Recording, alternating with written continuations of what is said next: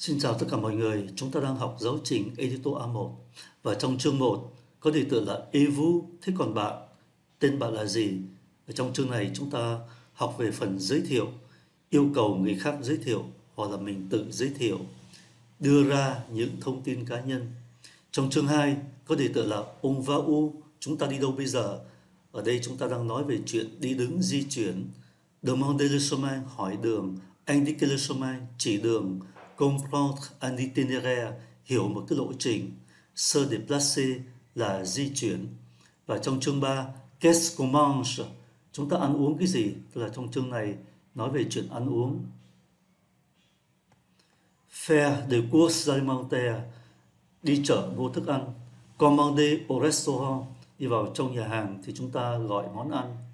Exprimer ses goûts, nói về các sở thích của mình và trong chương 4 mà chúng ta bắt đầu học, có đề tựa là Leson Sepakti.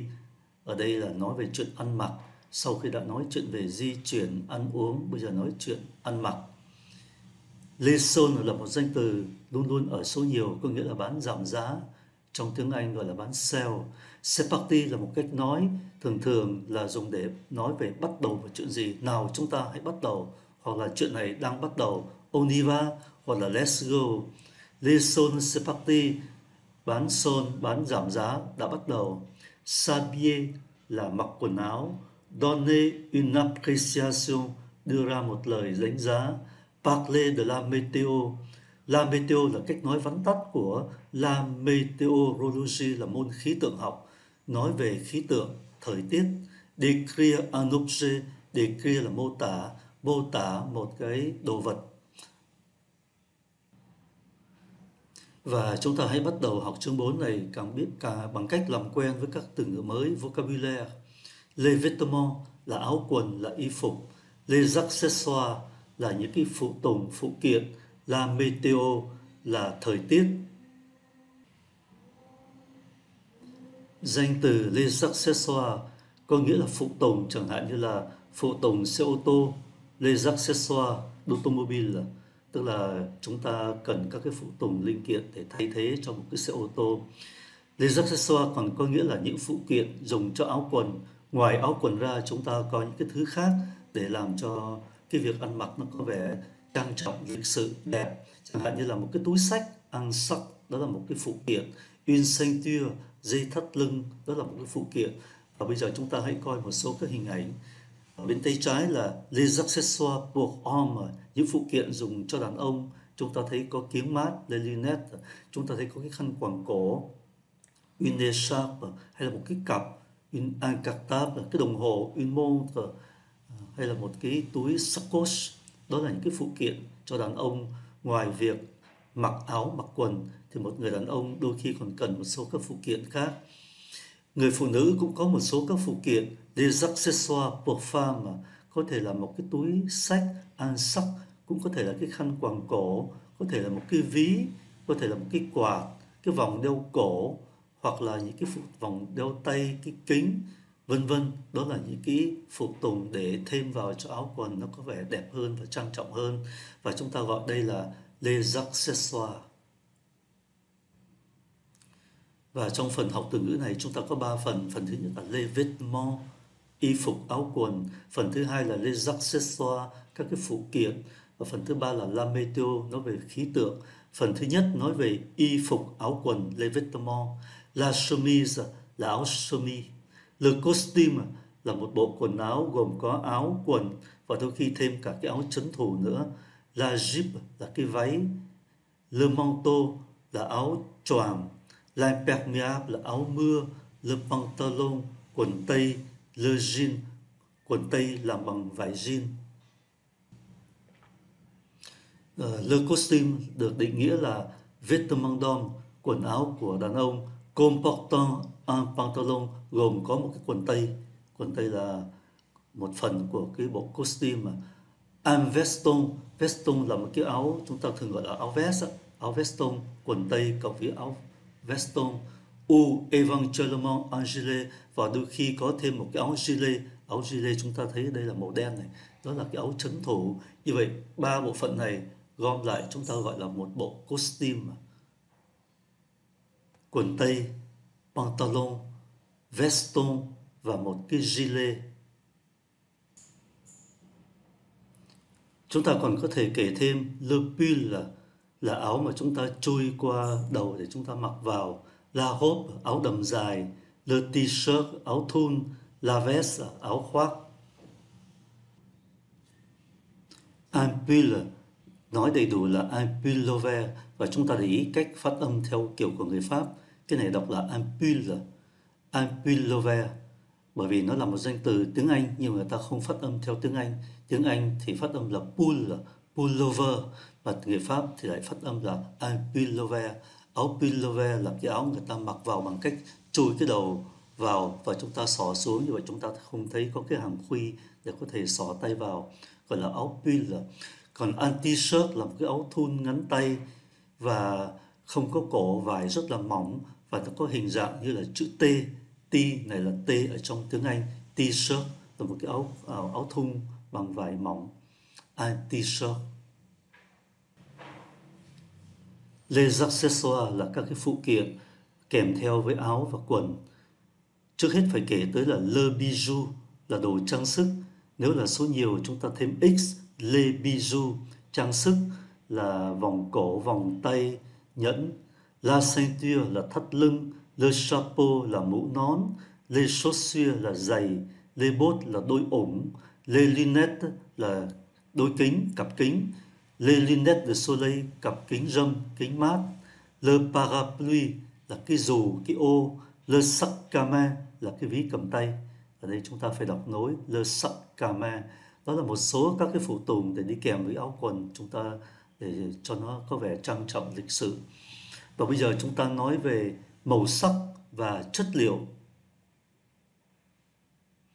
lê ma chia là các chất liệu để làm ra các cái áo quần hay là các cái phụ kiện bên trên. Và lê couleur là màu sắc. Chúng ta nói về vật liệu thì chúng ta dùng giới từ on on coton là bằng coton on cuir bằng da. On jean bằng vải jean, on len là bằng vải len. Nói về các màu, chúng ta có một số các cái màu sau đây. Beige là màu nâu nâu, blanc là màu trắng, bleu màu xanh da trời, Ri màu xám, jaune màu vàng, marron màu hạt rẻ, noir màu đen, rose màu hồng, rouge màu đỏ, vert màu xanh lá cây và chúng ta để ý cách đọc uh, giống cái của các tính từ này. Quy tắc chung để đổi một tính từ từ giống đực qua giống cái là chúng ta thêm ơ vào giống đực. Tuy nhiên sau khi thêm ký tự ơ vào thì có thể là nó giữ nguyên cách phát âm, cũng có thể là nó đổi. Và trong trường hợp một tính từ masculine đã đã có sẵn ơ rồi thì chúng ta không thêm, chẳng hạn như là màu beige, màu beige là màu nâu nâu, chúng ta dùng cho cả danh từ giống đực và giống cái. blonde là màu trắng, đổi qua giống cái là blanche. Blue là màu xanh dương, đổi qua giống cái chúng ta thêm ơ nhưng mà cách phát âm không có thay đổi. Blue, blue gris là màu xám, đổi qua giống cái chúng ta thấy thêm ơ vào và phát âm là gris, gris, gris, jaune dùng cho cả giống đực và giống cái, marron màu hạt rẻ dùng cho cả giống đực và giống cái, noir là màu đen, đổi qua giống cái chúng ta thêm ký tự ơ nhưng cách phát âm không thay đổi. Rose là màu hồng, rouge màu đỏ, hai màu này nó đã có sẵn ký tự ơ, do đó dùng chung cho cả danh từ giống đực và giống cái. Ve là giống đực của tính từ có nghĩa là màu xanh lá cây và đổi qua giống cái chúng ta thêm ơ thì phát âm là vert ve, vert Trong bài tập số 1, người ta yêu cầu chúng ta hãy bổ túc vào cái hình này và khi bổ túc thì chúng ta cũng được yêu cầu là hãy để ý tới màu sắc và chất liệu. Và chúng ta đã nói lên cái áo, cái quần, cái y phục nhưng mà phải thêm cho nó cái màu và cái chất liệu. Người ta đã làm sẵn cho chúng ta một cái ví dụ. Đây là một cái sách cầm tay, ăn sắc, màu xanh blue và bằng da en cuir. Bây giờ chúng ta thấy đây là một cái áo đầm in robe à. cái áo đầm này bằng coton và nó có màu xanh và màu trắng thì chúng ta viết là đây là một cái áo đầm bằng vải coton màu xanh và màu trắng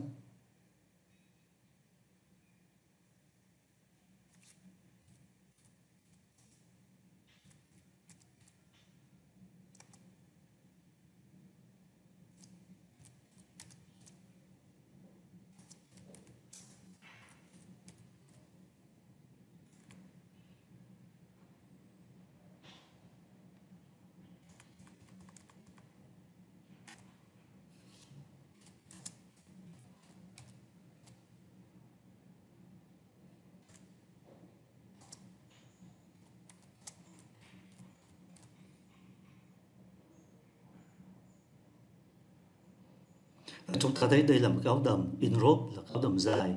Nó có hai màu màu trắng, blanc và màu xanh. Những cái vệt màu xanh là bleu và nó bằng vải coton ăn coton. Nhưng mà chúng ta thấy tính từ blanc, nó không đi theo với danh từ feminine, bởi vì đây là một tính từ kép nó gồm có màu trắng và màu xanh. Thì chúng ta để hai tính từ này không thay đổi. In robe blanc et bleu en coton. Kế tiếp chúng ta thấy cô này mặc một cái áo blouson là một cái áo khoác. Áo này bằng vải jean, vải dày và nó có màu nâu. Un blouson brun en jean. Và cô ta mang đôi dép màu vàng bằng da, des sandales jaune en cuir. Phần thứ ba nói về khí tượng là meteo và nói về nhiệt độ les températures ở đây chúng ta để ý cách phát âm của ký tự em mà. Ký tự em khi đứng trước ký tự P thì nó có giá trị phát âm là N là les températures khí tượng và nhiệt độ. Ở đây chúng ta thấy, thấy có hình là tuyết rơi la neige. Ở đây có mây le nuage. Và đây là rông tố sấm chớp l'orage. Ở đây là mưa rơi la pluie và người ta gọi là thời tiết xấu le mauvais temps. Ở dưới có mặt trời, le soleil, và người ta nói là le beau temps, thời tiết đẹp. Và sau cùng chúng ta thấy gió gió làm cho các cái lá cây nó nó bị bay giạt đi, le vent. Nói về nhiệt độ, chúng ta có các cái danh từ la chaleur, là sức nóng và tính từ chaud 30 độ 30 degrés centigrade.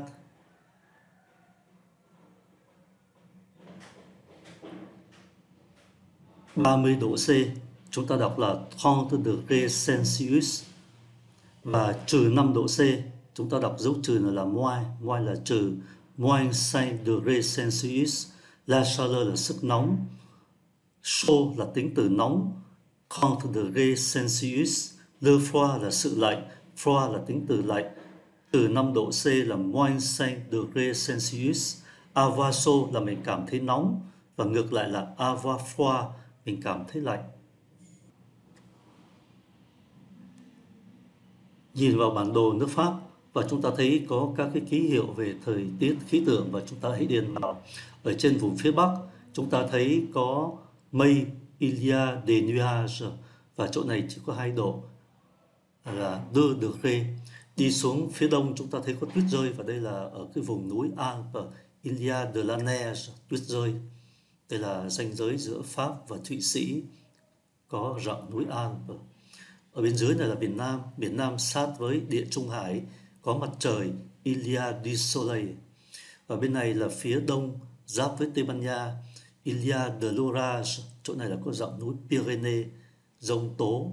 Và bên trên này là gần bờ biển, bờ biển Bretagne, lúc nào cũng có gió, Ilia du Vent.